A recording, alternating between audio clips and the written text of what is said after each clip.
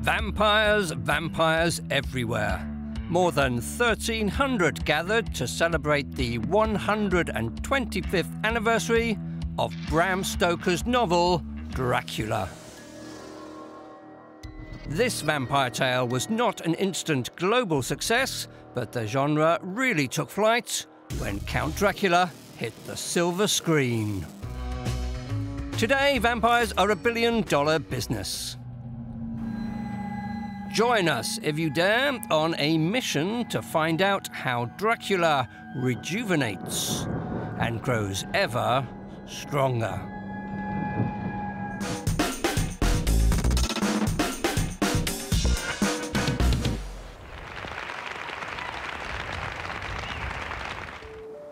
Irish writer Bram Stoker got inspiration for his classic story whilst holidaying in Whitby on England's northeast coast in the 1890s.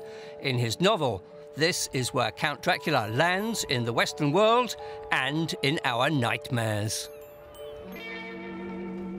Today, the town is a place of pilgrimage for horror fans. Why the genre will never die? Reason number one obsessive fans. It's a very good story. It's the romance of it all and that, and mm. you know, and the consequences of of love and deception. I suppose there's there's the the, the fight over good over evil. Two bats flew, and we saw the bats against the moon with the abbey. And I thought, I know exactly how his imagination worked because he must have seen the same thing. Because well. it's spooky.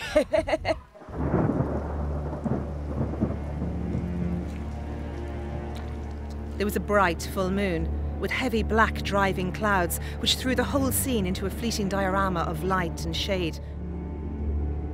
Bram Stoker's novel Dracula was published on May 26, 1897. It's presented as a true story. Reason number two for the genre's enduring success, mixing fact and fiction. Professor Catherine Wynne has studied the elements that the Irish writer took from Whitby. He also did his research in Whitby Library, and it was there, of course, that he discovered the name Dracula. And he changes the name of his vampire from Count Wampyr, which would never have worked really, it's very melodramatic, to Count Dracula. Stoker read about Vlad Dracul, or Vlad the Impaler, a 15th century ruler of Wallachia and a national hero in Romania. He was almost certainly not a vampire, but did have a reputation for brutality, in particular for impaling prisoners. Although historians say the stories may well have been exaggerated or even invented. Stoker took the name for Dracula's first British victim from a gravestone in the cemetery of St Mary's Church. Swales. It's a great name, though, isn't it? Um, yes. He finds finds this name here and decides to use it, immortalise this figure in his in his novel. The figure who introduces Lucy and Mina to, to all the tales of Whitby and is the first victim on British soil yeah. of the vampire. Of course, there are victims on the boat, in real life, that boat was the Russian schooner, the Dmitri, and was wrecked in a storm in 1885 on the beach below St Mary's Church. This true story also finds its way into the novel in slightly changed form. He changes the name of the boat. He doesn't do very much. He just changes the name of the boat from the Dimitri to the Demeter. The only living thing that bounds off this boat is a black dog, a huge hound. And he bounds up the steps here. This huge hound is Dracula. Stoker picked up on the local legend of the Barghest, the black dog ghost, and skillfully wove it into his elaborate tale. But, strangest of all, the very instant the shore was touched, an immense dog sprang upon the deck from below, as if shot up by the concussion, and running forward, jumped from the bow onto the sand. Vampire lore is much older than Stoker's novel. Belief in vampires was widespread in southern and eastern Europe in the 17th century, such that Pope Benedict XIV had to declare that vampires were fallacious fictions of human fantasy. By the early 18th century, vampires were beginning to colonize Western European novels like John Polidori's The Vampire, originally attributed to Lord Byron. Dr. Claire Nally says Bram Stoker was clearly inspired by these earlier works. There are so many other um, vampire novels. Uh, Polidori's The Vampire predates Stoker's novel.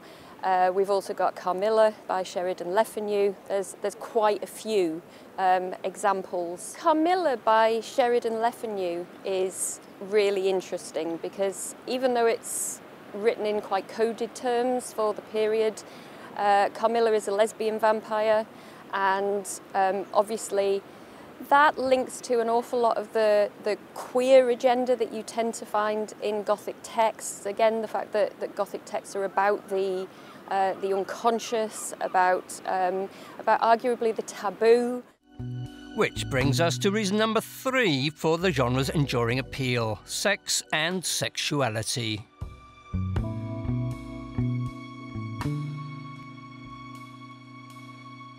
Vampire texts are always, on one level, about forbidden desires. Also, the descriptions in the novel are very overtly sexualized. There's lots of references to sort of um, uh, blood, and, and her lips are dripping with blood, but she's wearing this white dress. So, there's all these kind of reflections on innocence and virginity and. Um, all of those kinds of yeah broader ideas that will have been in um, in in kind of discourse in Victorian society.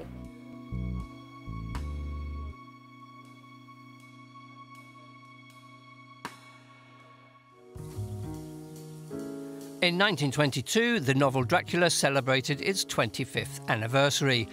Interest in the novel was waning, but it was about to get a major boost through reinvention for the silver screen. Nosferatu, directed by legendary German director F.W. Murnau, is ground zero for the vampire film. Reason 4 for the vampire genre's rising from the grave, reinventing Dracula at the movies. F.W. Murnau's Nosferatu uh, was the first vampire movie, um, and it did set a template for a lot of those uh, to come, even though it's quite distinct. I mean, his vampire, his, his Count Orlok, is very different from the Draculas that will come later. But various elements uh, um, in terms of uh, the, the way that sunlight can kill a vampire.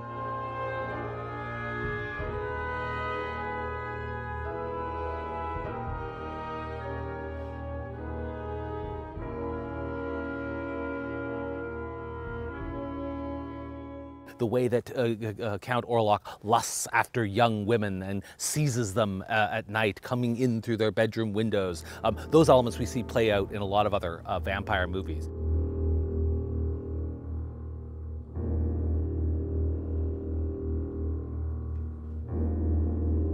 It's visually so striking. I mean, it's done in this high German expressionist style with uh, extremely sharply contrasting shadows and, and light, and all, of course, done as, in, as a silent film. So everything, the sort of visual elements play a much stronger role. Unfortunately, the makers of this historic horror film didn't bother obtaining the rights. They just changed the names. Dracula became Orlok, for example. Stoker's widow Florence successfully sued, and in 1925, a court ordered the destruction of all copies. Fortunately for us, some survived. The first US film adaptation came in 1931. Actor Bela Lugosi was a Hungarian immigrant who had played the role in an authorized stage version. His acting and delivery may seem wooden to us today, but its chilling and haunting quality only added menace for audiences in the 1930s. I am Dracula. Well, what Bela Lugosi brought to Dracula, the character of Dracula, was Eastern European sophistication. You know, he, this is a guy, he was able to speak in beautiful, long, complicated sentences and incredibly charming and with that amazing Hungarian accent of, I'm Count Dracula, I want to suck your blood. This was no longer just a monster uh, who wanted to kill innocent women. This was a sophisticated aristocrat who also wanted to kill innocent women. And that image of Dracula became a template for basically all the vampires to follow. Dracula slept through the 1940s and most of the 1950s, but on the cusp of the 1960s, a franchise was born. British actor Christopher Lee played the Count for the first time. Both the marketing and Lee's mesmerizing and simmering performance oozed sexuality. This is the story of Dracula a creature who destroys all whom he touches. What Christopher Lee brought to the character of Dracula was sex he filled this character with erotic tension and, and, and lust. Uh, all these women, uh, bosom women, toppling over and fainting in front of Dracula as he consumes them. Um, and that sort of uh, sexual energy was something that we saw in vampires from then on uh, in, in cinema.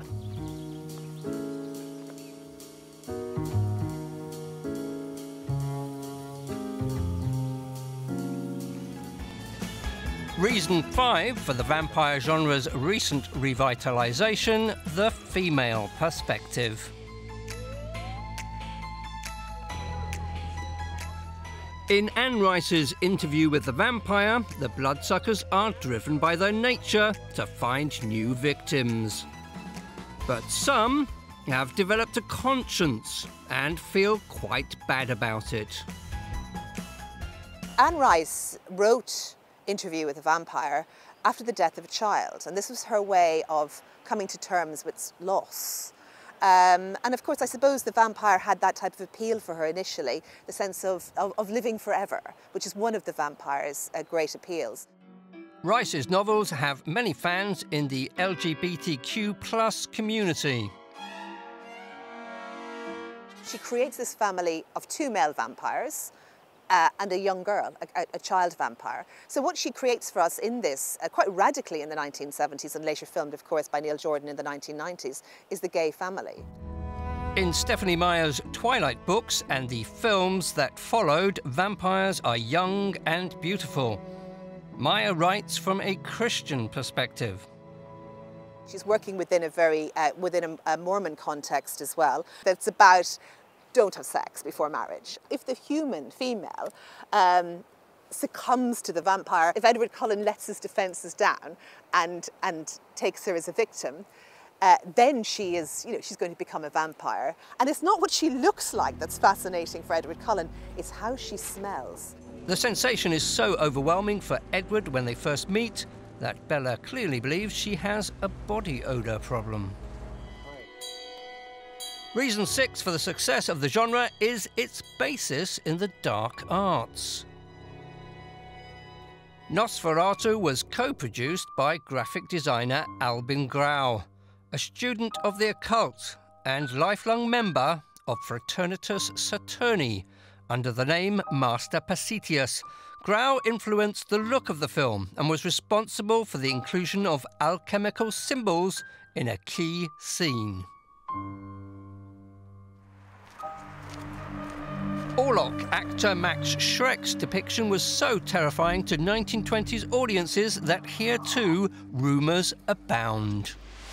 Some people uh, have claimed that he actually was a vampire, that he can't be buried here because he's, he's one of the undead. There's no way that could be an ordinary man. And also, I mean, Max Schreck? Come on, that sounds like a made up name, right? Max, Max Fright? Come on, that can't be a real actor, right? I mean, come on. Do vampires really exist? Back in Whitby Bay, some fans of the genre would only agree to meet us after dark. My name is the Countess Dracula, and I'm the Count. Um, my name's Gary, but I'm known as um, Lucifer, Lucifer Dracula. Yeah, Definitely. we believe that vampires are real. I mean, we don't sit around drinking blood all day long. Um, there are other, other means of uh, satisfying our our mm. needs. There's nothing different really about us. There's lots of vampires in Whitby. Well, we're not sure about that, but 125 years after the publication of Bram Stoker's novel, Dracula has millions of fans all over the world. The vampire genre has revitalized itself, feeding on the blood of each new generation. Bram Stoker died in 1912, 10 years before the first film. What would he have made of the enduring success of his creation? I think this is a wonderful celebration of Bram Stoker's legacy and the, the legacy of, of, of Dracula because Stoker was a man of theatre. He spent his whole life looking at costumes, seeing productions, Gothic productions at the Lyceum Theatre. And what a celebration this is this performance, these costumes, people living out their fantasies. The novel has had real traction in wider popular culture and you can certainly see that around Whitby with all the tourist attractions with shops that are inspired by Dracula, by Bram Stoker and it's all that really that makes it you know so popular. Any theatre manager in their right mind would be very very proud of a 125 year run of something that he created. And when you also think of being an artist, how he's inspired thousands of writers and stage directors, and of course, places like the Whitby Goth Festival that have profited from this and is a, a gathering of people that love to come and celebrate the goth life, things that Bram Stoker really introduced to the world way back in 1897. I'm feeling quite well. Mirror, mirror on the wall, who was the greatest screen Dracula of them all? Hmm. Bram Stoker's idea that vampires have no reflection seemed tailor made for gripping scenes in countless films. But if we can't ask the mirror, let's ask the fans who their favourite Dracula was. I am going to have to go back to Universal Monsters, original black and white Dracula. Absolutely obsessed. Lugosi is the, is the, in my opinion, the archetypal uh, Dracula. Um, only because his personal relationship to the character was unique. The fact he was a Hungarian Transylvanian uh, actor, uh, he was a political refugee. Everyone knows what Lugosi's mannerings were, and the cloak, and the cravat, and the and the accent. I've always been fascinated by, by especially Christopher Lee. For, for me personally, he epitomises Dracula. Max Schreck and Nosferatu uh, will stand as really um, one of the greatest horror films of all time, and I would say one of the greatest films of all time. What do you think? Which is your favourite story and film from the vampire genre? What is behind its phenomenal success? And who do you think is the greatest screen vampire? Let us know in the comments, and don't forget to hit the subscribe button.